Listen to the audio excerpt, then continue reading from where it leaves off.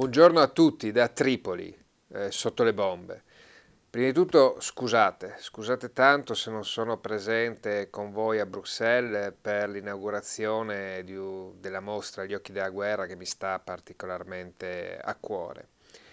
Eh, sono qui in Libia eh, per cercare di fare il mio lavoro di giornalista, eh, per cercare di rispettare anche eh, il significato stesso di questa mostra Gli occhi della guerra, che, che rappresenta 30 anni eh, di reportage non solo miei, reportage fotografici non solo miei, ma anche di Gian Michele Singh e soprattutto di Almerigo Grills, a cui la mostra è dedicata. Ma permettetemi prima di tutto di ringraziare eh, un amico eh, che ha fortemente voluto questo evento, eh, Marco Scurria, eh, che eh, non solo l'ha voluto, ma ci ha creduto, ci ha creduto anche prima di diventare euro, europarlamentare. Per questo lo ringrazio di cuore. Ringrazio anche eh, tutti i presenti all'inaugurazione,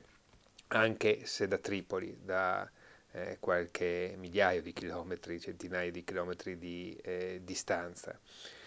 Perché gli occhi della guerra? Gli occhi della guerra perché eh, sono quelli eh, di quel bambino soldato che è la prima foto che abbiamo scelto per la mostra eh, che ho scattato tanti anni fa in eh, Uganda, perché gli occhi della guerra sono quelli dei prigionieri che abbiamo incontrato, che magari non avevano, non avevano speranze e che abbiamo immortalato forse per l'ultima volta, perché gli occhi della guerra sono le pupille di un ferito che con l'ultimo anelito di vita ancora attaccato alla vita, perché gli occhi della guerra in fondo siamo anche noi giornalisti che facciamo questo mestiere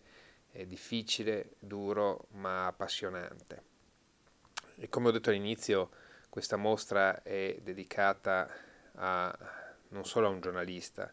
ma a un grande amico, quasi un fratello per me, che si chiamava Almerigo Grills e che è morto il 19 eh, maggio 1980 87 in Mozambico. È stato il primo eh, giornalista italiano a morire su un fronte di guerra, sul fronte dell'informazione.